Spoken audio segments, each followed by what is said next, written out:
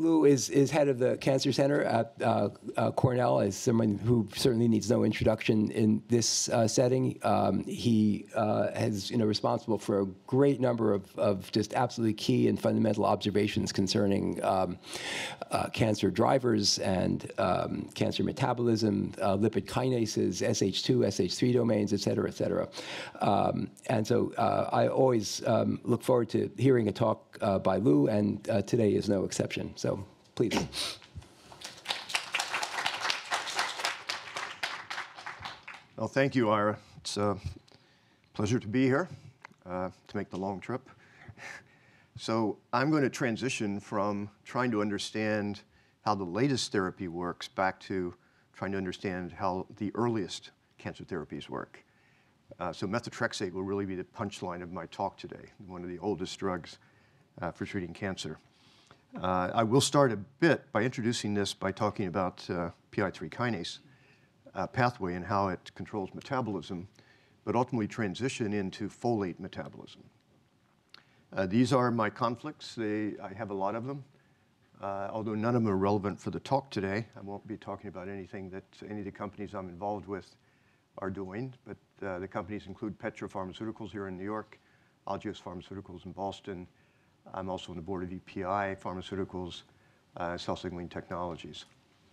Uh, and um, I will talk about off-label use of methotrexate. Uh, I'm not sure anybody makes any money from methotrexate, but except for hospitals.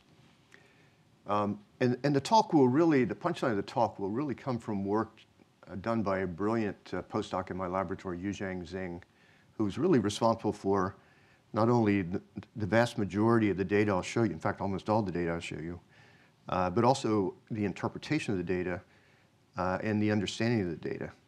Uh, I learned a lot from this postdoc, I should say.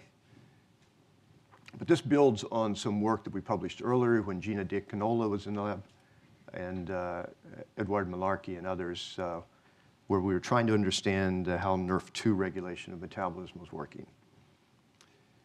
So this uh, gives an overview of how PI3 kinase has an impact on metabolism. There's lot, uh, actually a lot more going on than just this, but with regard to glucose metabolism and ultimately diversion of intermediates in glycolysis into nucleotide synthesis, uh, as well as glutathione synthesis. Uh, PI3 kinase, we know at the molecular level how a lot of this happens. Uh, we know that uh, AKT does a lot of things to stimulate up, upper levels of glycolysis, including stimulating glucose uptake.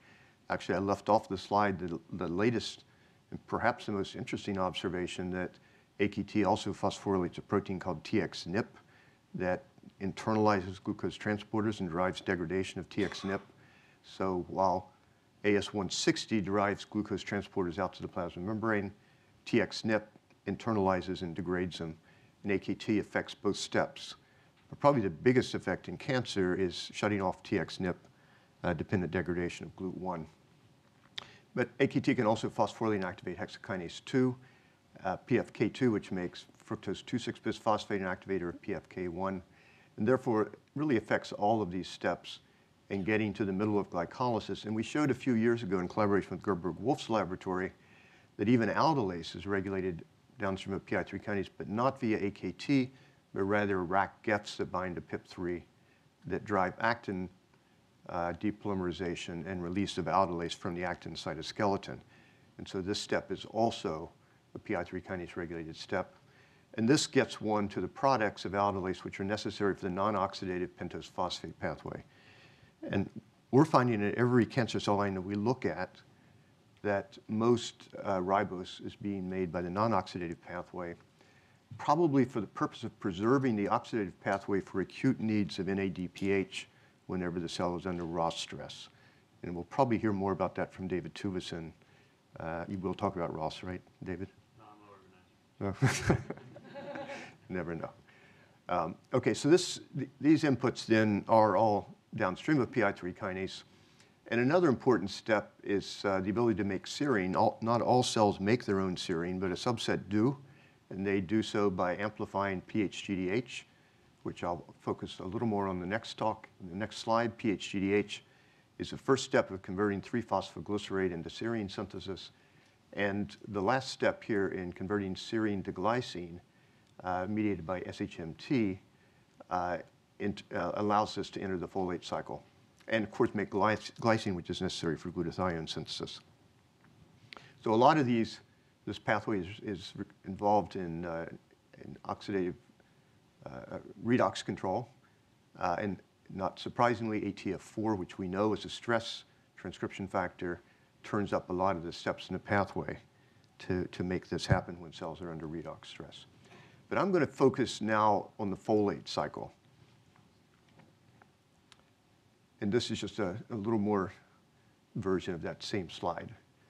So the folate cycle, everybody hates because it's just, it's so complicated, the molecules are so complicated, uh, and it's, uh, and it, and it has two copies of every single gene in it. So SHMT1, SHMT2, every step in the pathway is duplicated in the mitochondria. And so why is that so? And the first insight from that really came back in the late 1980s when it was observed that, uh, that the essentially formate generated in the mitochondria is what's needed to drive the pathway uh, in the cytosol. In other words, this pathway is almost always going clockwise. You need the formate generated in the mitochondria from serine uh, breakdown in order to uh, drive the anabolic processes in the, in the cytosol. So this uh, has been uh, duplicated in numerous other laboratories, Karen Vousden's lab, Josh Rabinowitz in the last few years. And we are also able to show that, yes, this, every cell line we've looked at runs exactly this way. And the question is, why is it running this way and what's so important about this? So just to remind you of folate, here's the structure. Uh, this is the tetrahydrofolate, and uh, what we know is that it's, once it gets into the cell, in order to get into the cell, I should say, the folate travels around the bloodstream typically as a, a polyglutamate form. It gets digested, the glutamates come off. That allows it to get into cells as a monoglutamate species. And then once in the cell, it gets polyglutamated again to trap it in. So unlike many other metabolites that are fluxing in and out of cells at very high rates, lactate and glucose, et cetera, folate, once it gets in the cell, it pretty much stays there. It takes days for folate to be, rep- to be exchanged in and out of the cell. That means the cell has to conserve that folate and interconvert it and always bring it back to all the intermediate species without having to import it, at least not at a high rate. So keep in mind, this, this polyglutamate also makes it complicated to identify all the individual species because every species has a, variety of number of, poly, of glutamates on it. So there could be 10 glutamates, there could be 20, 50, 30. So if you try to do HPLC analysis of this, you just get big smears. So in order to analyze glutamate, you have to, or formates rather, you have to hydrolyze off the polyglutamates. And there's an enzyme that will do that. And so what we did then was label cells with tritiated, uh, tetrahydrofolate, tritiated these four positions here. And then uh, after various hours, we, seven- 48, 74 hours or so, we harvested the cells and then removed the polyglutamate and then HPLC purified the species to analyze them. This is, shows you a little more detail. We either use, typically use either 48 or 72 hours because it takes a long time to get the folate into the cell. So we're now looking at tritiated folate, and uh, in this work, uh, again, done by Yujing, Zheng, uh, uh, shows some surprising results when she did this. She found that there was a tritiated species that migrated to position on the gel, on the, on the HPLC that had never been seen before. So she injected uh, and followed by UV a number of standards of all the intermediates in folate metabolism. You can see some of them, where some of them migrate here. Some of them cluster together at specific peaks. But this peak had never been seen before. And uh, she showed this in lab meeting for an embarrassing number of lab meetings uh, with unknown written above it and the mystery of what is this species. It has to be coming from folate because it has tritium in it. So what she did, in, fact, the only time she saw the species was whenever she knocked out enzymes in the mitochondrial folate metabolism pathway. I only show you two of them here, SHMT2 and MTHFD1L. Both, both of these are mitochondrial enzymes, and they both contribute to formate production. And if you knock down either one of them, this unknown shows up. If you add the enzyme back, that unknown disappears, so it shows this is not an off-target effect of CRISPR. Uh, and if you just add formate to the cells, you can make it go away. So in other words, if you impair the ability of the mitochondrial pathway to generate formate, then this species builds up and you can rescue just by adding formate at high levels to the cells. So what got even more interesting is when she added methotrexate to cells. So if you add methotrexate, you get an even greater amount of the same species. It goes up quite high, migrates exactly the same position as on the previous gel. Here's dihydrofolate. Keep in mind that methotrexate is a dihydrofolate reductase inhibitor. And so when you add methotrexate to cells, dihydrofolate goes up, and it's, but it's not this peak. It's separable from this peak. I suspect that people missed this over the first 50 years or so of doing folate metabolism, because unless you have a very high resolution HPLC, dihydrofolate falls right on top of that species. Everyone assumed it only appeared when you had methotrexate, therefore it must be dihydrofolate. So she took uh, dihydrofolate reductase and NADPH, added it to the purified species. The dihydrofolate shifted back over to here, uh, but this unknown did not change at all.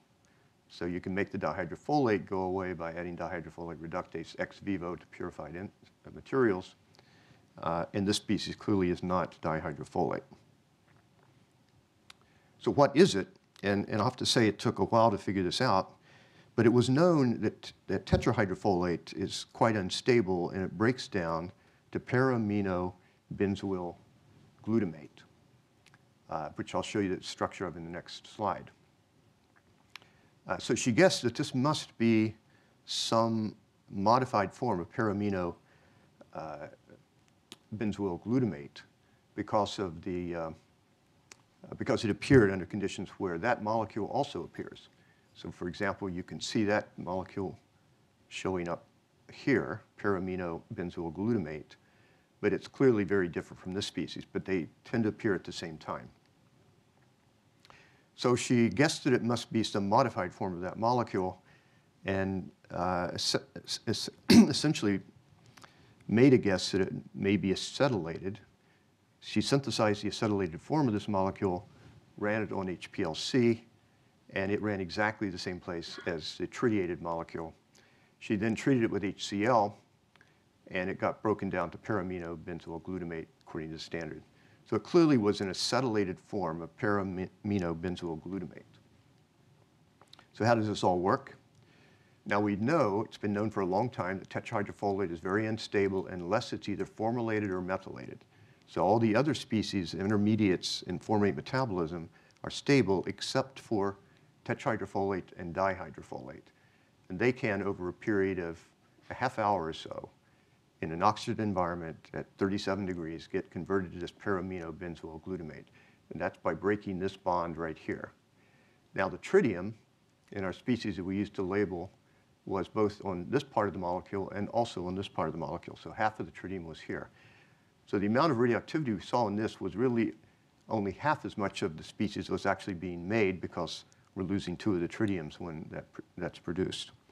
That means there was a lot of this molecule being generated and somehow it was getting acetylated uh, to the paracetyl species. So the question is, is this really due to oxidative degradation of tetrahydrofolate or dihydrofolate in, in vivo in the cell? So we tried adding peroxide to see whether we could mimic the methotrexate effect or the knocking out of the mitochondrial pathway. And the answer is yes. Just adding peroxide to cells, you get the exact same species appearing with time, uh, similar to, to knocking out uh, SHMT2. Uh, and if you do the two together, this becomes the major species. And of course, you've got to double the peak because only half as much tritium in this species as in these species. So this is the major metabolite of folate in cells that have been treated with under conditions of redox stress or methotrexate treatment. So what is the enzyme that acetylates it? She made a guess that it may be an, uh, an aryl acetyltransferase, uh, and the one most well characterized is an enzyme called NAT1. So she knocked out NAT1, and that species uh, disappears.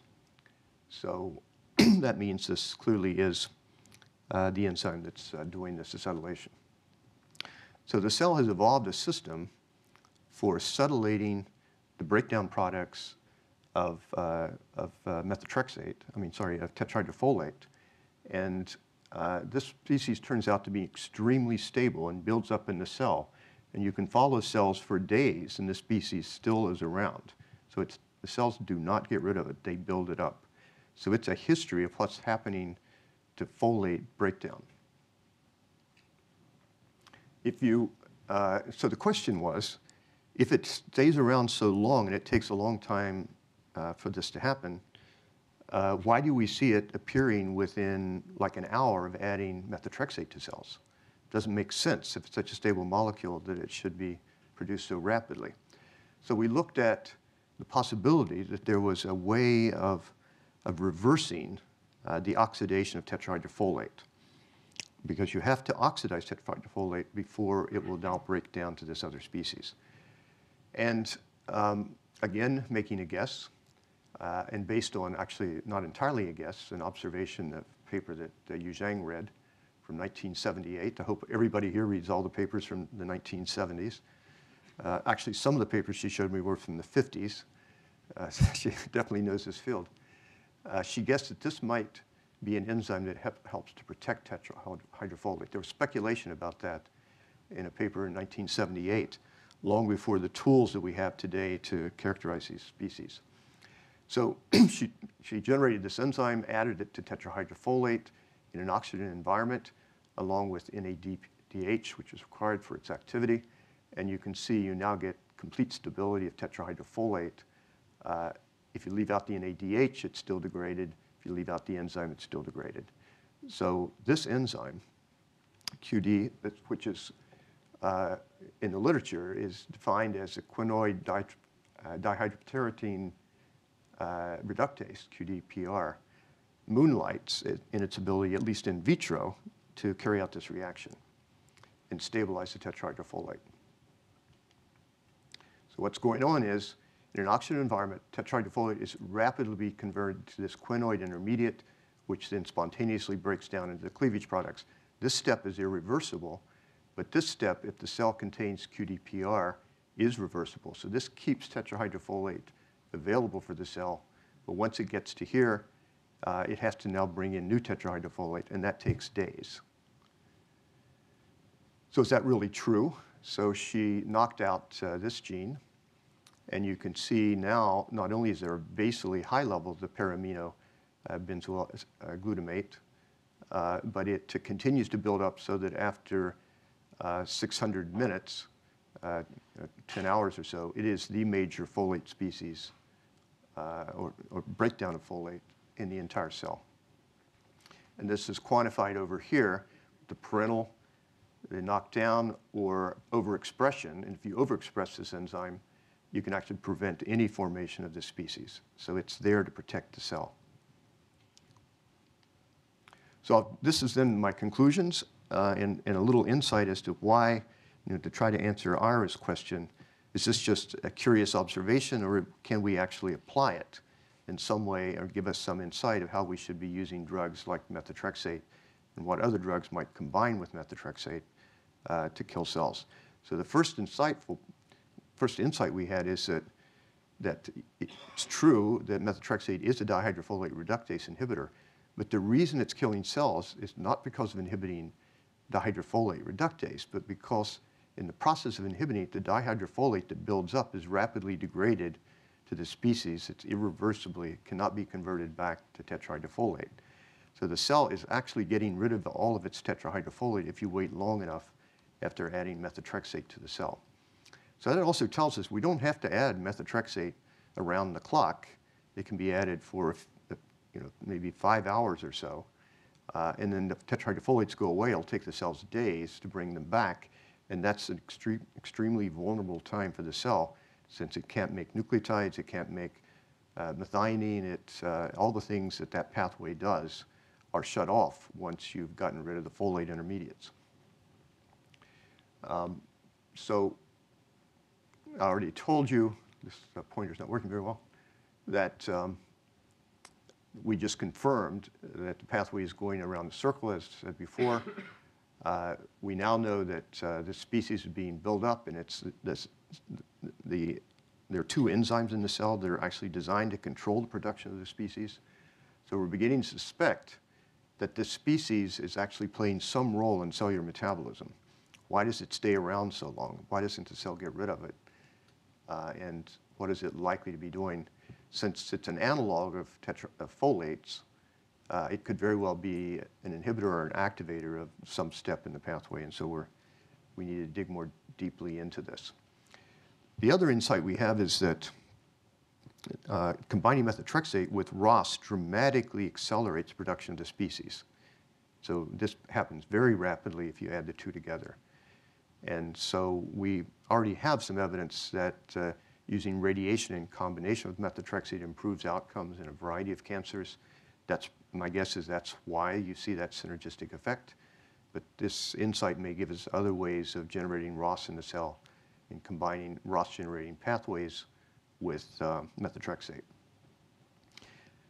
And then finally, I just want to say that uh, this observation that QDPR moonlights as a protector of the folate species uh, suddenly explains something that's been in the literature for 50 years, and that is the observation that there are a rare number of patients who have both alleles of QDPR uh, mutated, uh, and, and one of the major phenotypes they have is folate insufficiency. So these children have to be treated with high levels of folates continuously, and it's been a mystery as to why losing this enzyme resulted in folate deficiency, and I think this observation clearly makes, explains that.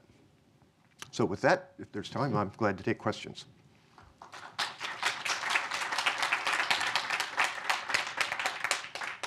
Yu Zhang really did all of this. Yes? So Tom, so I'm wondering for these two enzymes, NAT1 QDPR, so are they, are they in the mitochondria or in the cytosol? No, cytosol. They're all cytosolic, uh, QDPR, yeah. So they, they will be sensitive also. And to NAT1 also. Yes. in the cytosolic level as well. Yeah.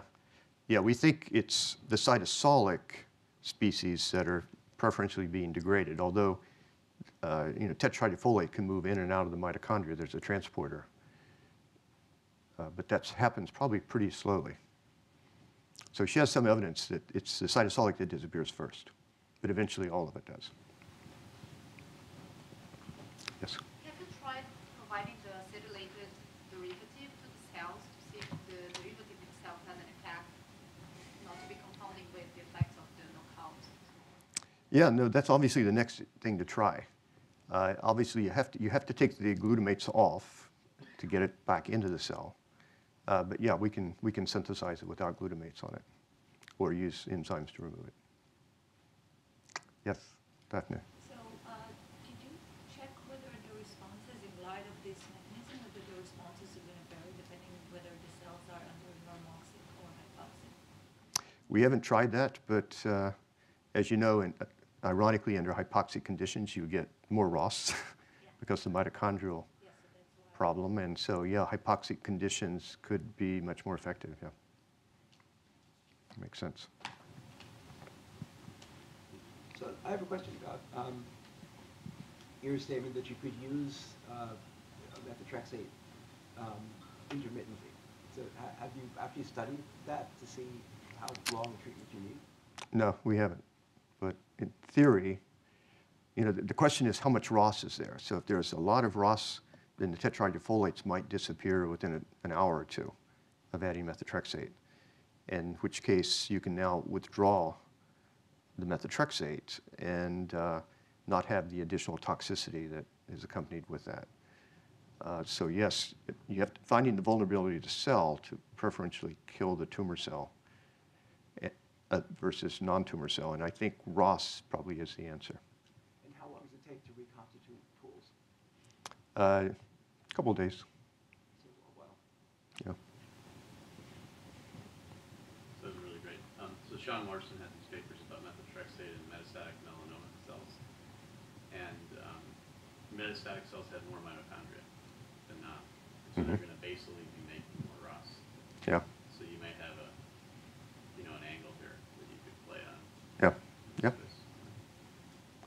I think just following uh, folate intermediates, following, you know, in vivo in tumors, is it's feasible to do it. Okay. Thank you.